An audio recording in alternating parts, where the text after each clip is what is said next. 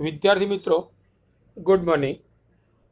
આજે આપણે ધોરણ સાતમાં વિજ્ઞાન વિષયની અંદર પ્રકરણ આઠ, પવન, વાવાઝોડું અને ચક્રવાત એના વિશે જોઈએ. મિત્રો, પવન કેવી રીતે આવે, વાવાઝોડું કેવી રીતે આવે અને ચક્રવાત કેવી રીતે આવે એ આપણે આગળના તાસમાં જોયું હતું. હવે તાસની અંદર જ્યારે ચક્રવાત આવે છે, ત્યારે આપણે કયા કયા આયોજનો કરવા જોઈએ? ચક્રવાતથી બચવા માટે શું કરવું જોઈએ? ચક્રવાતથી થતા નુકસાનને કેવી રીતે આપણે અટકાવી શકીએ? એ મુદ્દાઓની ચર્ચા આપણે અહીં આગળ કરીએ. તો મિત્રો, ચક્રવાત સમયના આયોજનો આ નીચે પ્રમાણે છે. એમાં પહેલું જ છે કે આપણે અનિવાર્ય ઘરેલું સામાન, પાલતુ જાનવરો અને વાહનોને સુરક્ષિત સ્થાને પહોંચાડવા માટે પ્રતિબંધ કરવો જોઈએ. મિત્રો, ચક્રવત આવે, કેટલા સમય માટે આવે, કયા સમય આવે, એનું કોઈ નક્કી નથી હોતું. આગાહી જે કરવામાં આવી છે, એ પ્રમાણે આપણે અનિવાર્ય ઘરેલું સામાન મતલબ કે જેના વગર ચાલી શકે નહીં એવા સામાનની વ્યવસ્થા કરવી જોઈએ.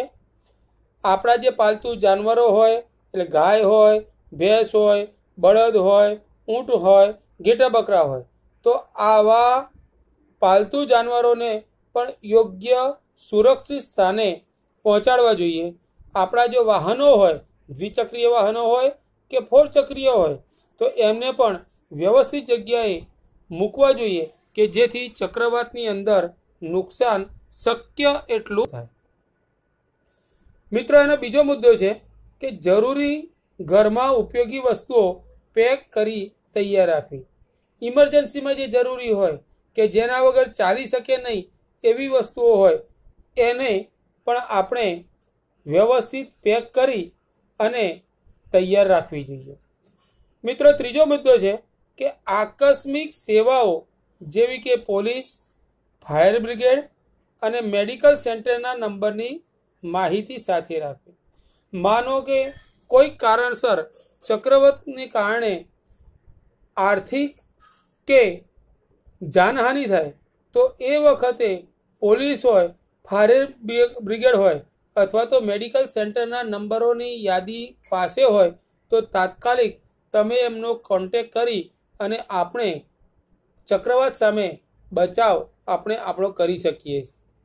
ચોથો મુદ્દો છે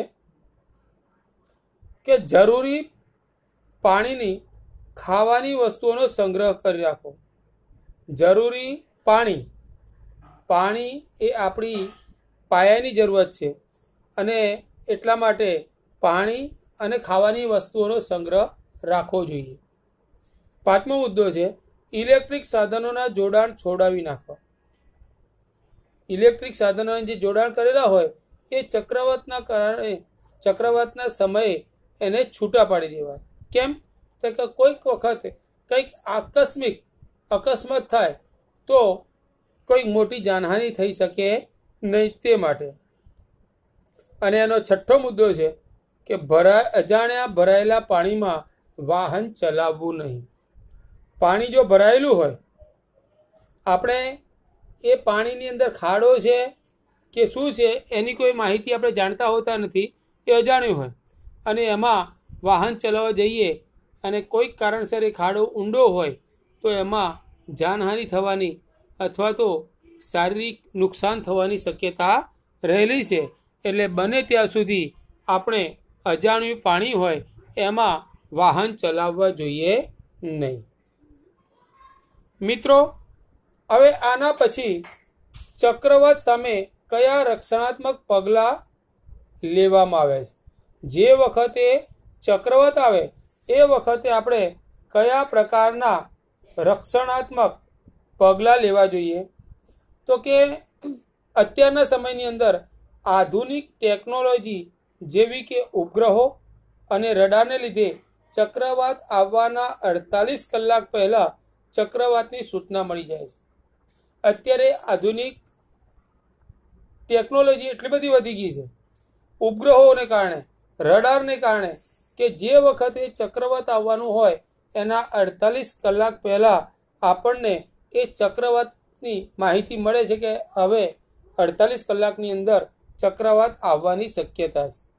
ચક્રવાતની ચેતવણી પણ ચોવીસ કલાક પહેલાં અને ટીવી અને રેડિયોની મદદથી પ્રસારિત કરી દેવામાં આવે છે. ચક્રવાત આવવાનો હોય તો એની ચેતવણી પણ રેડિયો અને ટીવીની મદદથી ચોવીસ કલાક પહેલાં પ્રસારિત કરી દેવામાં આવે છે.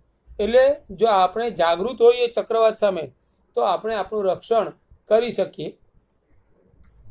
એમાં પહેલો મુદ્દો છે કે સરકારી સંસ્થાઓ અને દરિયા કિનારાના વિસ્તારમાં દરિયામાં જતા માછીમારો વહાણખેડુઓ બંદરો અને હવાઈ મથકોને ચેતવણી આપતો ત્વરિત સંદેશો પહોંચાડી દેવામાં આવે છે.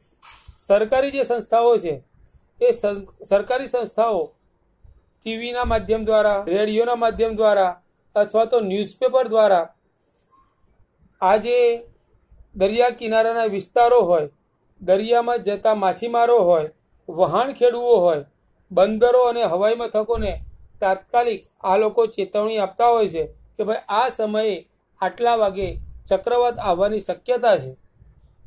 બીજો મુદ્દો છે કે ચક્રવાતના સંભવિત ક્ષેત્રમાં ચક્રવાતથી બચવાના આશ્રયસ્થાનો અને લોકોને ઝડપથી સુરક્ષાત્મક રીતે તે સ્થાનો પર પહોંચાડવાની સરકારી વ્યવસ્થા કરવામાં આવે છે.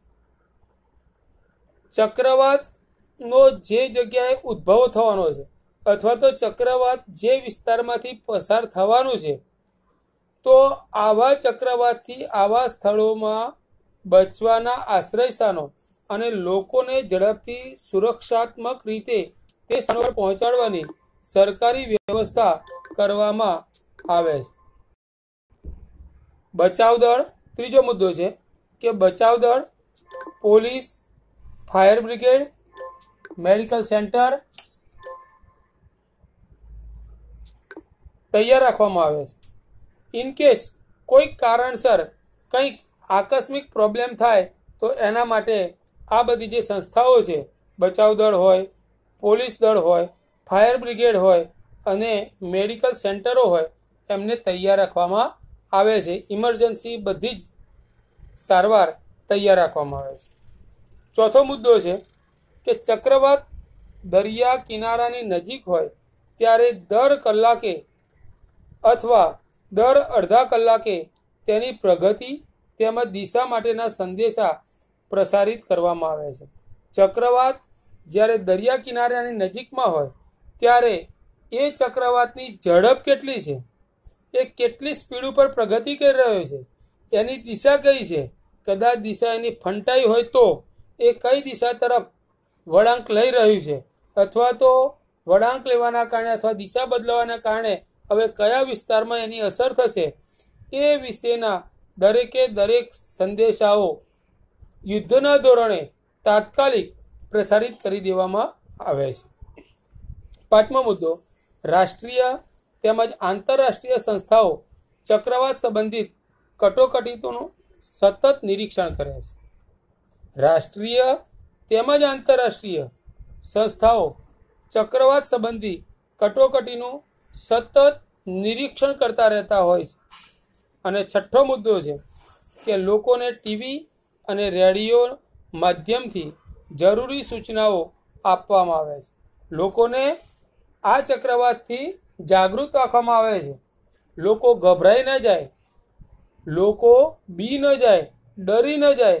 તેના માટે તેમને પ્રોત્સાહન આપવામાં આવે છે અને સાચી હકીકતનું માર્ગદર્શન કરવામાં આવે છે. જરૂર પડે આગોતરું આયોજન કરવા વિશે જણાવવામાં આવે છે. ટીવી અને રેડિયોની જાહેરાત જોતા રહેવા જણાવવામાં આવે છે. મિત્રો, અહીં આગળ આપણે આ ચક્રવાત વિશેની માહિતી જોઈ. હવે આગળના તાસમાં આ ચેપ્ટરમાં આગળ આપણે જોઈશું.